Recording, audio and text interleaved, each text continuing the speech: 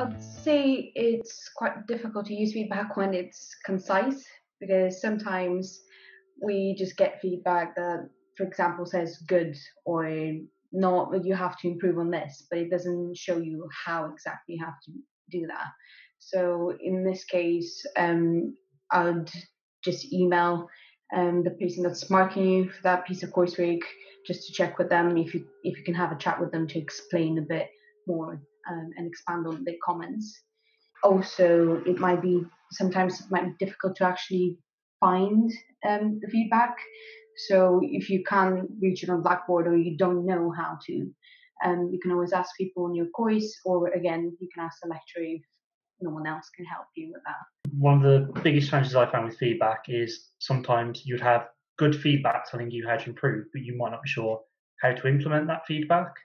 And I think the best thing to do then is either maybe email whoever's marked it and ask them for some more help, or try and arrange a meeting with them, sit down and actually talk through what they meant with the feedback, where and how it can be implemented,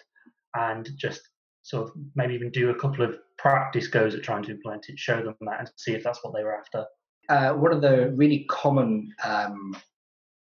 feelings that students have with feedback is that you can get uh, feedback comments that are quite generic uh, and uh, they don't help guide uh,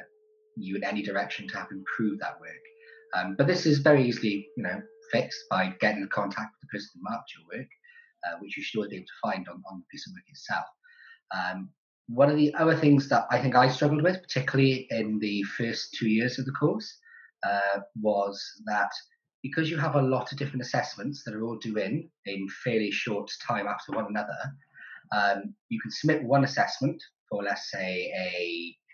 chemistry lab report, uh, and uh, two weeks later, you've got to submit another one, but you only get the feedback from the first one about a day or so before you have to hand in the next one. So sometimes um, you get feedback in a timely manner, but not quick enough to be able to implement those changes in current work that you're also going to be assessed on. So in those instances, I found self-reflection to be quite a handy tool to try and ident- self-identify any weaker areas um, and sort of approach uh, the markers and, and, the lecturers who would be assessing that piece of work in advance to see how I could improve what I'd already done. Um, because that really helped me in the first year when we had a lot of assessments in, in quite short order. I think one of the most challenging aspects of feedback is actually implementing it post getting it. It can be something that you just forget about sometimes.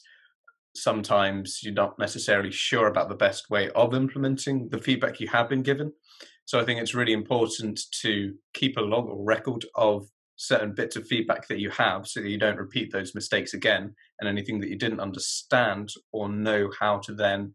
transfer across to the next piece of work make sure that you get the help of your peers or your academic tutor or somebody else to help you through that process to make sure that you actually implement those that feedback that you've got. Otherwise feedback is pointless